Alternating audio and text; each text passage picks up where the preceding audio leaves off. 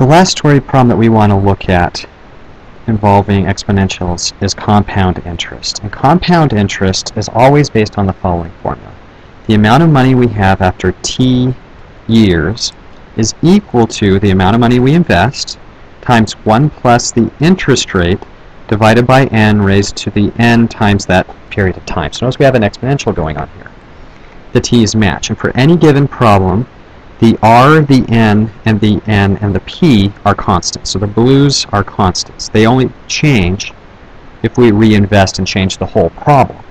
But for a given problem, these are the same. Now, p is the principal. That's how much we're going to put into it. r is our annual interest rate. And t is, of course, time. And a is the amount at at time t. The n is this interesting thing, and it's called the compound factor.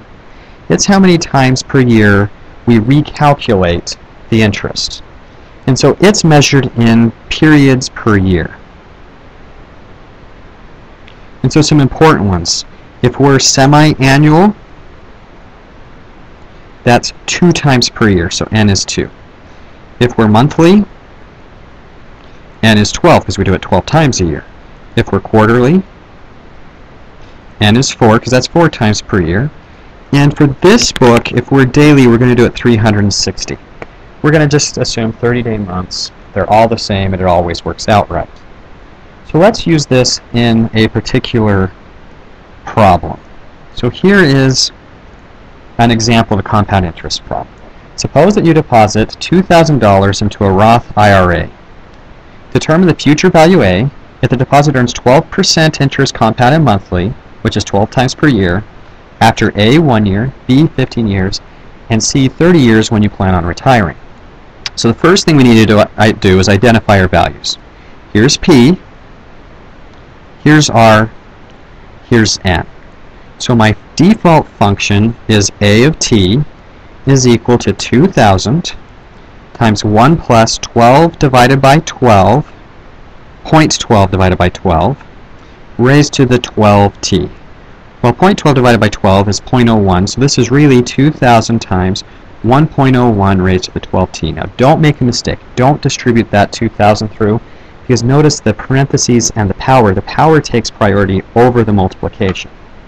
So this is 1.01 raised to the 12t. So now, for a of 1, which is part A, we just plug 1 in, and we go to our calculator now, and we get 2,000 times 1.01 raised to the 12th power. We hit equal, and it shows we have $2,536.48. 36.48. So after a year, we've made $536. If we let it sit for 15 years, notice the 1.01 and the 2000 don't change, but now we get 12 times 15. So we go back to our calculator and we do 2000 times 1.01 raised to the, I'm going to put this in parentheses just to make sure order of operations works, 12 times 15, close, equals. Now we've got $11,991 and 60 cents. So if we wait 15 years, we've almost made six times our amount of money.